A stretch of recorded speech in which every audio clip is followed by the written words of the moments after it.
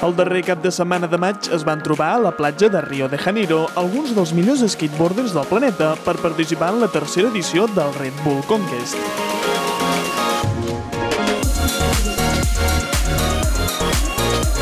És un esdeveniment que s'ha celebrat en d'altres capitals amb una important tradició de pràctica d'aquest esport, com París o Lisboa. El format de competició era ben senzill. Els skaters enfrontaven les seves rondes en duels per parelles i un jurat era el que decidia quin dels dos passava a la següent ronda i així fins a la final.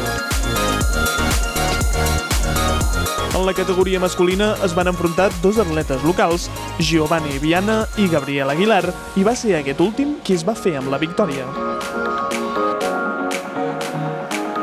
En categoria femenina també arribava a la final una skater brasilera, Gabriela Mazeto, però no va poder amb l'holandesa Ros Zwetslot.